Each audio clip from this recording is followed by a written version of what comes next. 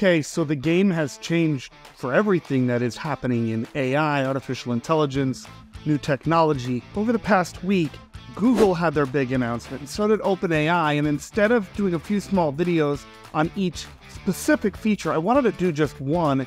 And I really want to talk about what all of these changes are and what that means for everyone who doesn't quite understand what to do with it yet.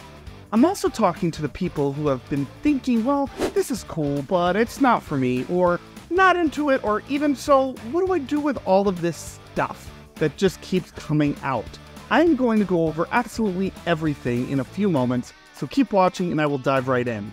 And first of all, if you are new to the channel, my name is Ben Silverman, and I am focused on just this making AI accessible to absolutely everyone. And I'm going to let everyone into all of these updates so they know how it will benefit or sometimes even hurt them.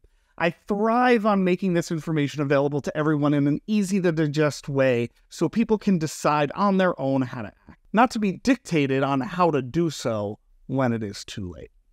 I put out a newsletter once a week, and I will leave a link to that in the description. And I have an AI toolbox, which I will be updating quite a bit soon with everything that I am learning and I am digesting. It is important to be on the cutting edge so you can operate at your full potential and take advantage of all of this time that we have.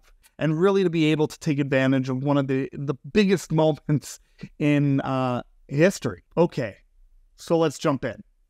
Over the past week, OpenAI just made their spring update and Google had their annual I.O. conference. I also attended an event out in Los Angeles called AI on the Lot, which brought people from across the globe to Hollywood to talk about the implications of what AI will do to the entire entertainment industry moving forward. The overarching theme here is to focus on adoption of AI at the highest of levels. Until then, this AI thing has been about a bunch of people like me getting really excited and sharing their excitement with everyone that they know. That time has come to an end. After this week, the features used by a select few will be commercially available to everyone in the world. So first, let's talk about why do we even want to use AI? Well, AI will make us more productive, it will make us more efficient, and believe it or not, it will even make us more creative. It will allow all of us to have superpowers that fill in our gaps and allow us to emphasize our passions and hopefully free us up to do amazing things and the things that we are really passionate about and focused on. Let's start with OpenAI and their spring updates with ChatGPT. One of the main reasons that mass adoption hasn't happened yet is because it hasn't really been commercially available to everyone at the highest levels for free. The internet bubble started to rise when the Mosaic browser was released in November of 1993, allowing everyone to get online. That became Netscape, which released its Navigator browser in 1994. Navigator grew from 20% of the browser market in January 1995 to almost 80% in less than 12 months later. Now, you'll be able to mark this week as to when that happened for AI in the future.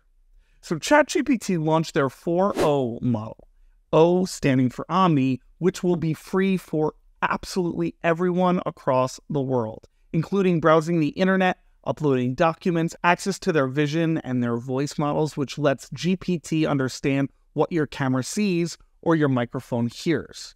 Now, they even are now allowing for everyone to access their GPT store. Most people I speak to don't even know what they are. You can think of GPTs like a personal assistant who is really smart in one area. Developers connect them to their knowledge base of information that AI can feed off of, and us, the end user, can download these GPTs to be much more focused on the specific subject we're dealing with.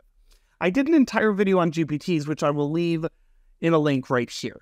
Now, one of the more impressive moments also came when they brought up their assistant with zero latency. If you have used any of these models, you would notice that it would pause before it gives you an answer. This is one of the most complex issues that needed to be solved, and they did that. You can talk to the AI as you talk to a friend. The use cases for this have given way to way more than what people thought were possible, which is why it's so easy to compare it to the early 2000s. It does draw examples to the movie Her, or for those of you who watched Quantum Leap, we all are getting our very own personal Ziggy very soon. Education has also changed forever this week. Putting this device into everyone's hands is going to allow people to understand things like never before. Hello there. I'm here with my son, and I'd love you to tutor him on this math problem. But don't give him the answer. You can ask questions and nudge him in the right direction. But I really want to make sure he understands it himself. And he's here in the room, so you can talk to him directly. Of course. I'd be happy. Let's look at the problem together. Can you first identify which sides of the triangle are the opposite, adjacent, and hypotenuse relative to angle alpha? All right. So I'm pretty sure this is the angle alpha right here, right? Fixed. Correct. Now, looking at the triangle, which side do you think is the hypotenuse? Um, because I mean, I'm not totally sure. I think, I think it might be this one, but I really am not sure. The side AC.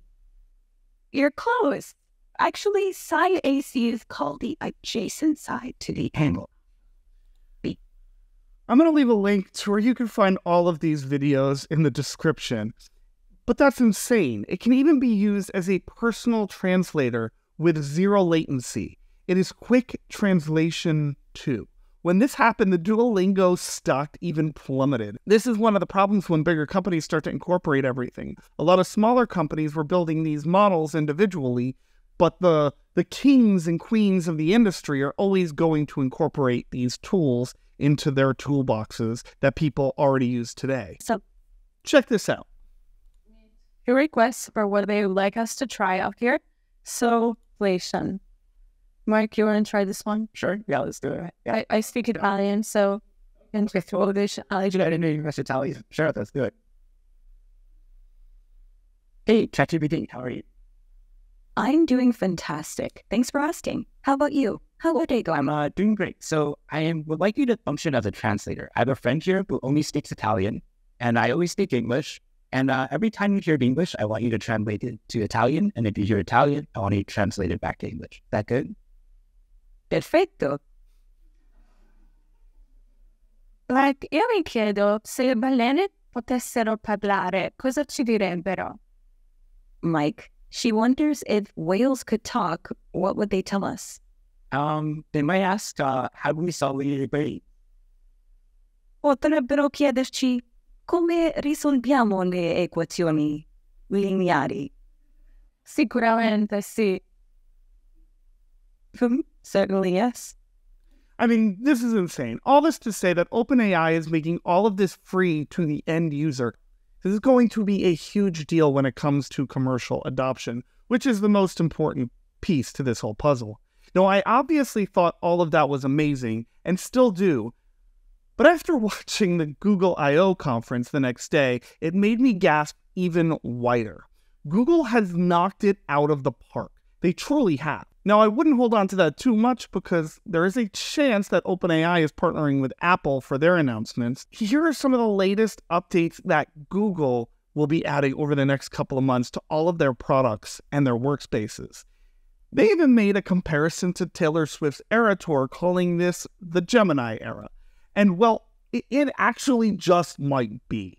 Google introduced AI overviews inside of their Notebook LM. Inside of Google's Notebook LM, you can upload all of your documents and materials you would like this notebook to be able to understand. For instance, if you are a student, research, homework documents, text for anything you are studying. For those who understand AI and chatbots, it feels much like a knowledge base that you are now able to interact with. Now, this has already been around for around a year now, but what they introduced this year are AI overviews. Now, in these overviews, it can give you in text form, but they are also able to create an audio overview, which is much like a podcast, with one huge exception. It is about all the material that you want it to be about, and you can even interrupt the podcast to get your own AI host to answer your questions, right? Check this out. We want that Type Pro. It instantly creates this notepad die with a helpful summary and can generate study guides, an FAQ, or even quizzes. But the life side can listen to something. So we prototyped a new feature with Gemini, and it's called Audio Overviews. Notebook LM is going to take all the materials on the left as input and output them into a lively science discussion personalized for him. Let's take a listen. So let's uh, let's dive into physics. What's on deck for today? Well, uh, we're starting with the basics force and motion. Okay. And that, of course, means we have to talk about Sir Isaac Newton and his three laws of motion. Ah, yes, the foundation for understanding how objects move and interact. Ah, yes, this is where multimodal really shine.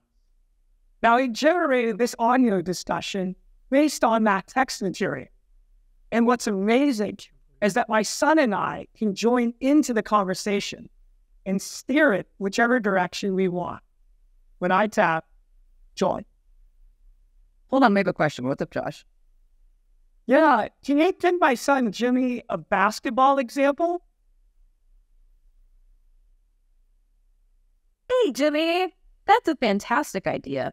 Basketball is actually a great way to visualize force and motion. Let's break it down. Okay, so first, imagine a basketball just sitting there on the court. It's not moving, right? That's because all the forces acting on it are balanced. The downward pull of gravity. Pretty cool, right? Insane. These overviews are going to pop into Google Meets and even tell you about your emails. You can literally listen to all your emails like it's a podcast. And if you don't want to watch a video but want a summary, think about how this changes education. Google also introduced their new Gen AI models. Imagen 3 is their text to image model, and Veo is their video model, which definitely can start competing with the likes of Midjourney and Sora. Now, Imagen photos are now more photoreal, including richer details with fewer artifacts. They have focused the model to understand prompts that are written by people, so there's less of a learning curve.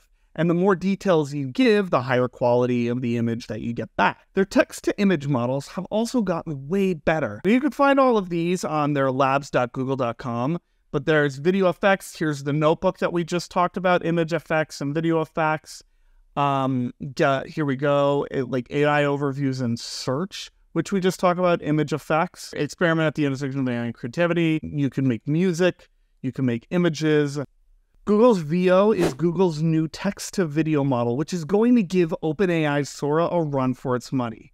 This incorporates all the models that Google has been working on in the past, like Lumiere, which I've done a video on, and they are incorporating all of their research into this Veo model. Let me show you some of what I mean. Now, you could find it on uh, labs.google.com, but here, right here, is you can join the waitlist. So check this out. This is alpacas wearing knit wool sweaters, graffiti background sunglasses, brightly colored blue air doll dancing like crazy in a parking lot, a crochet elephant in vibrant colors walking in the savannah. These were just text prompts, a, a gliding POV shot of a road biker descending winding mountains, breathtaking views. This literally is just a text prompt which created these videos. It's way better than any stock footage than I've gotten. Now, Google DeepMind has been working on Project Astra, which is beyond impressive. They're like universal AI agents for everyday life, basically like your own personalized companion. Yes, on the dark side, it feels a little bit more like her, the film released a while ago, but there are also plenty of ways this can be enormously helpful. The goal of these agents is to be proactive, teachable, and customizable to you with response time that feels conversational.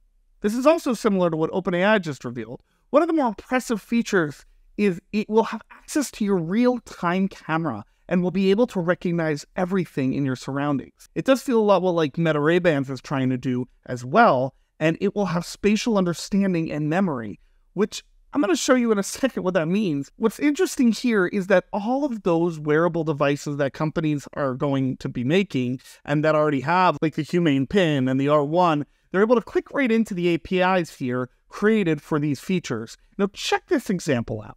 Watch this. Okay, let's do some tests. Tell me when you see something that makes sound.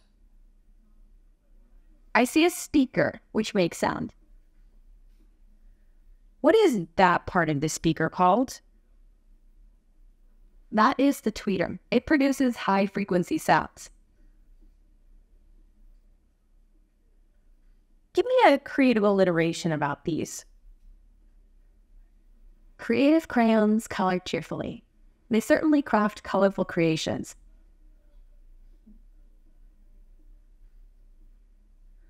What does that part of the code do? This code defines encryption and decryption functions. It seems to use AES-CBC encryption to encode and decode data based on a key and an initialization vector, IV.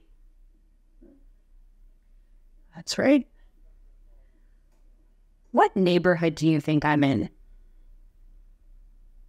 This appears to be the King's Cross area of London.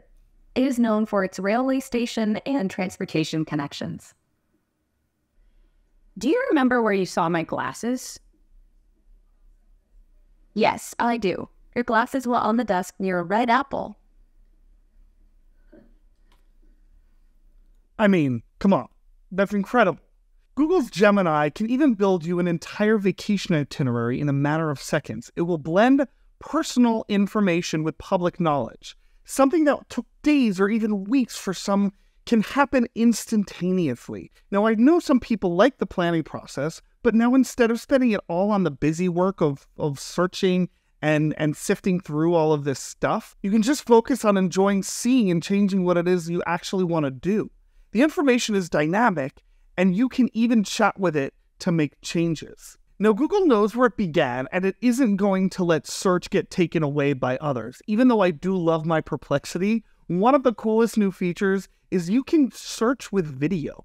You can take a video of something you want to know about or ask a question about, and say a broken record player. You want to fix this broken record player, and it will break that video down into frames to find the info that you need and get you back the appropriate response from the video. They're claiming that they're not training their models on the videos you upload. Google is organizing your search results into your own custom web pages for your search. So all the details come into this one web page that they made custom for you and giving different perspectives. So you're open to many different things that you could find on your own in different ways when you search. If you have been to the Google app, you can even circle an item in an image that you upload and it will find that item for you. It's insane. And there's always been this argument of what type of phone to buy Apple or Android. Google is trying to give you some more reasons to choose Android now. They are making their Gemini Nano way better direct to device. It also allows for security and privacy. It allows you to search your screen and pull up Gemini at any moment to help you understand something or complete a task for you. It will even identify if a caller that has called you is unsafe based on the conversation that you are having. I know. Apple has released a few plans that make me feel like they are working on some ideas that are similar. And if they have partnered with ChatGPT, that will make things really interesting in a month from now.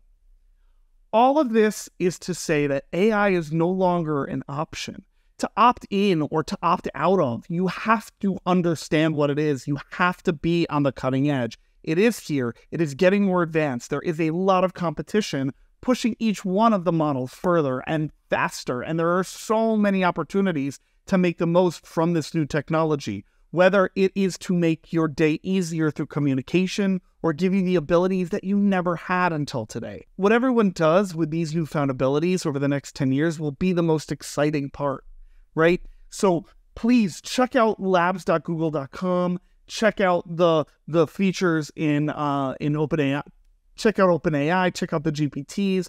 Really play around, and I'm gonna keep you updated on everything as it comes out. Please stay tuned. I'll be making more videos. I'm gonna dive deeper maybe into each one of these tools as we come up. But I really wanted to get this video out and and really share with you all the latest updates that have arrived and that will be arriving in the next couple of months. It's super exciting.